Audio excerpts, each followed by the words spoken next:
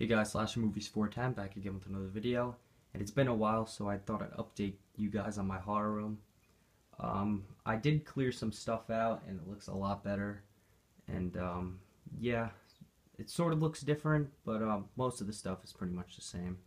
So yeah, I'll update you guys in a second. I just need, I just want to show you guys this new uh, uh, sheet that I got here. Well, I wouldn't say it's new, but it looks a lot better than the old one.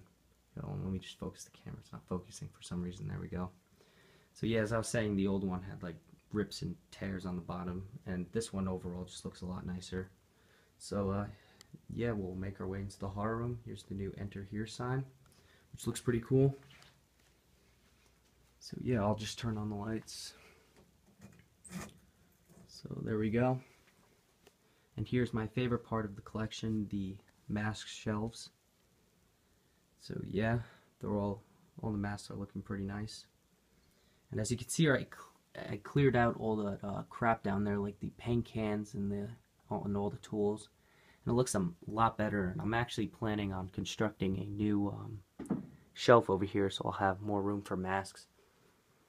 So yeah, here are all the DVDs up here. I know I say this in a lot of videos, but there's nothing really much to talk about. Well, there is, but it would just take up too much of your time. So you all could just take a look at all the masks. So yep, there we go. Here's the uh, werewolf section, I guess you could call it.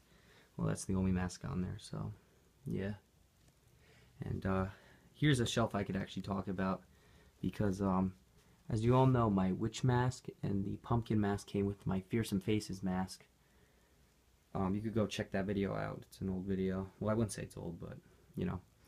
Uh, anyways, um, I had all these masks lying around and I didn't have room for them, so I just got this little shelf thing. I don't know what to call it, this cart. And it rolls around, but I prefer to keep it here because I think it looks the best, for now at least.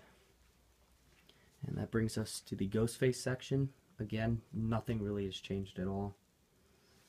Uh, I got some drawings down here like the MTV Ghostface. And I actually did this in school. It's a little tribute to Wes Craven because we all had to do like a project on somebody that died. Um, so I did Wes Craven.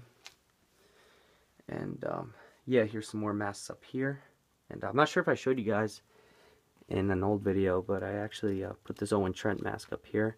And unfortunately, it only snowed like a few times in my area, so I really didn't have the chance to uh, go outside and do an Owen Trent costume test video. Uh, I'm kind of disappointed about that, but maybe next year. Or, uh, yeah, we'll see what happens from there. Here's some more masks up here. Here's my metallic purple ghost face mask with all the candy corn lights. Yeah, and it stops about right there. And then I got my uh, some more masks up here. Again, you could just take a look. I don't think I need to describe everything. And that brings us over here. I think I should have gotten a flashlight or something. It's, it's kind of hard to see. The most mostly it's just printouts and DVDs and all that. And uh, there's my chainsaw on the Leatherface dummy, I guess you could call it. And um, yeah, they'll bring us to over here with the TV and uh, all these DVDs over here. And there's my Halloween 15 disc Blu-ray set with my two favorite masks in my collection and that's just my laptop right there. And all those DVDs that were up there they're actually most of them are right here.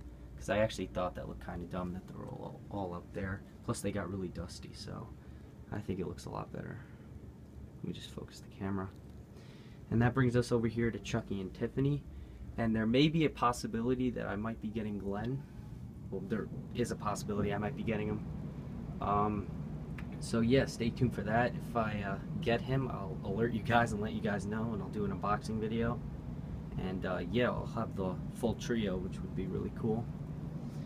Here's the happy birthday thing. As you remember from Child's Play 1 with Andy, he had that sign in the uh, living room. And there's some more printouts up here. And that brings us to the Michael Myers section. You've seen this before in previous videos pocket thing. And I actually keep all my gloves in here so I don't lose them. I think that was a smart thing to do. And yeah, this is just a ski mask that I use for my other masks.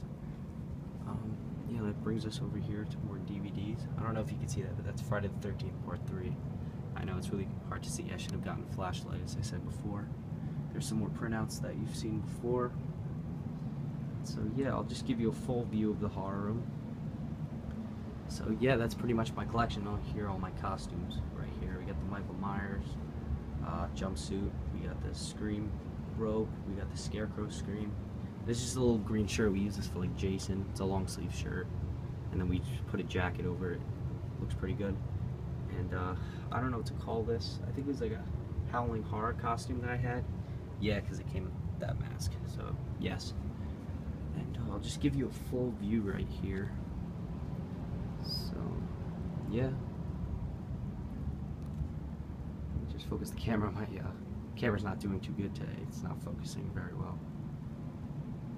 So yeah, I hope I got everything on video. All the masks. I hope I didn't miss anything. So yeah, that's pretty much my video, guys. Uh, thanks for watching. More videos will be coming up soon, and I'll actually uh, be doing an unboxing video, which should be coming out Wednesday, I believe. So stay tuned. Hope you guys enjoyed, and I'll see you later with some more videos.